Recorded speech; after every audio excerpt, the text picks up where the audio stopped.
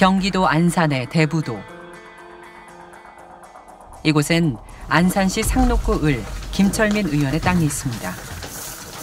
안녕하세요. 말씀 좀 여쭤볼게요. 여기 번지가 어딥니까? 먼저 네. 이거요. 아, 이 땅이에요? 네. 아, 김 의원 당선 전인 2002년 부인 유 씨는 1652제곱미터의 밭을 매입했습니다. 그 뒤로 밭은 방치돼 사람이 들어갈 수 없을 정도로 우거져 버렸습니다. 이웃밭과 경계를 구분할 수 없을 정도였다고 합니다. 농사는 안 지으세요? 이게 이제 어떻게 된 거냐면은 16년 동안 저, 그 농사를 안 지었어 좀 뿌듯하셨는데 정말요? 이게 이제 막 일본에서 이 산이 막 이래갖고 사시나무, 아카시아나무 이게 엄청 나가지고 이- 우리가 이제 이거 밀때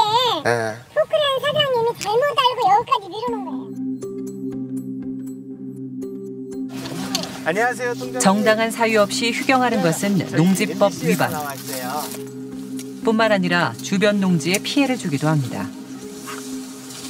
이 습기가 많을 때 그때는 이 비용균이 탄저균 이런 게 막 날라다녀요. 그래서 여기저기 붙으면 그게 탄저병의 원인이 되는 거예요. 식용 농지가 그래서 안 좋은 거예요. 다 농사짓는한테 피해가 굉장히 많은 거죠. 따지면.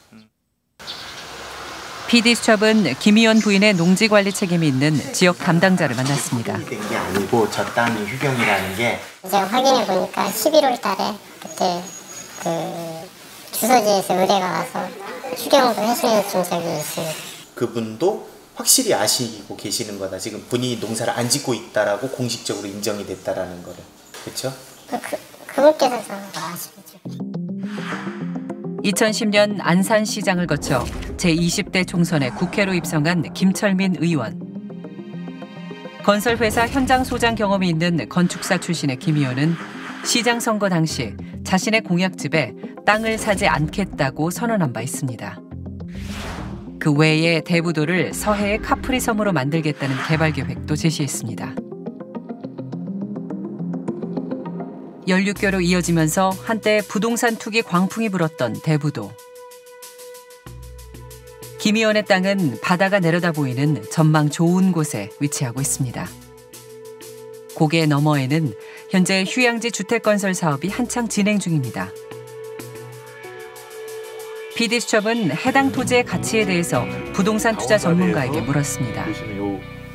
도시 여기가 이제 예전에 이제 대기업에서 이제 리조트로 개발을 하려고 했던 곳입니다. 그래서 좀 이쪽 대부도에 관심 있는 분들은 요 메추리 섬을 관심을 많이 가졌는데요. 그래서 제가 보기에는 지금 상태는 맹지에서 이제 벗어났다고 보거든요. 그래서 예전의 가치가 예, 가치보다는 저는 한 그래도 배 이상 올라갈 것으로 보고 있고요.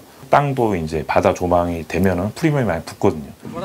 김 의원 부인은 2003년 화성군 비봉면의 농지 2,095제곱미터를 구입해 2015년 23억 1천만 원에 매도하기도 했습니다. 그 채권을 이제 그분이 더 못 갚으니까 뭐 땅이라도 좀 가져가라 해서 이제 받은 그런 케이스예요. 네. 이제 매도 이제 중도 이렇게 내놨는데 이제 최근에 이제 매매가 됐어요. 예. 이제 더 드릴 말씀이 없다라고 이제 제가 이제 설명을 드렸습니다.